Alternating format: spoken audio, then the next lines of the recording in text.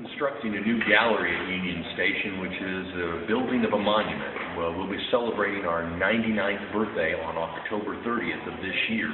And this strategy is to tell everyone in Kansas City what it took to build this monumental Kansas City historic monument.